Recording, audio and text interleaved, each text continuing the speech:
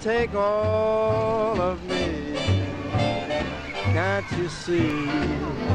I'm no good without you. The end of World War II marked the beginning of the end for the swing bands. I wanna lose them. Tastes had changed. Instrumentalists were forced to retreat to the background as popular singers took center stage. And young people flocked to see and hear them, Left me including the skinny young baritone from Tommy Dorsey's orchestra, Frank Sinatra. Go on, dear, without you. You took the part that once was my